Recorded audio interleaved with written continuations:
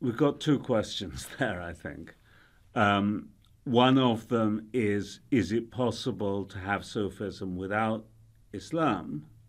And the other one is Why do certain Westerners want to have Sufism without Islam? The question of whether it's possible to have Sufism without Islam has two answers. One of them is that in matters of religion, people can really imagine and believe in whatever they want to believe in. As a scholar, I can't say that anybody's beliefs are right or wrong.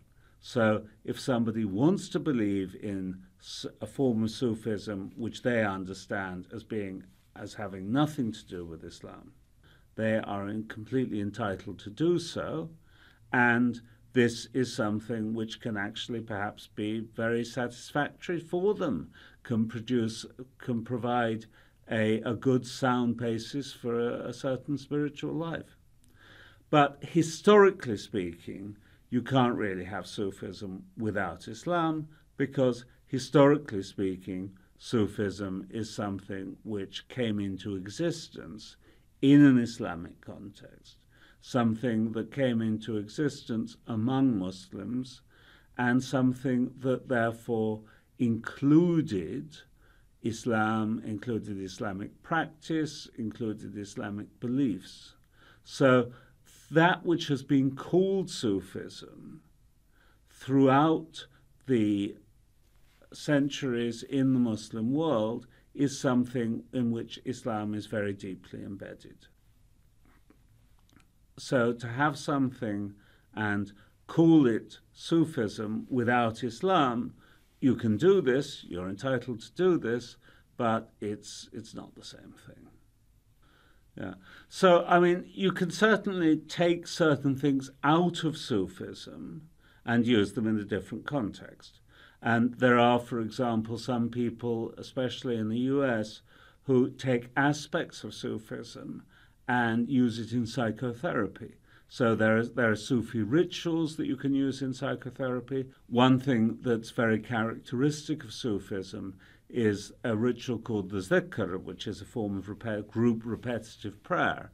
And you can do zikr without being a Sufi because it's just a ritual that you do.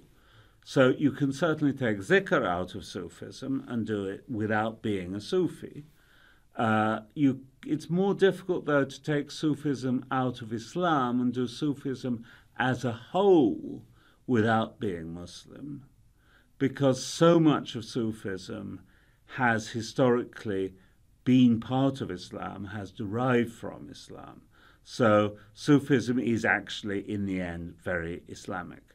And forms of Sufism without the Islam certainly exist and there are many people historically and today who practice what they understand as Sufism, and they are not Muslim, and they don't consider themselves Muslim, and they don't consider that the, the Sufism that they're practicing as being Islamic either.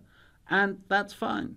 That's the way that they are doing things. But historically, they are doing something which is substantially different from the Sufism that has been practiced over the centuries by Muslims in the Islamic world.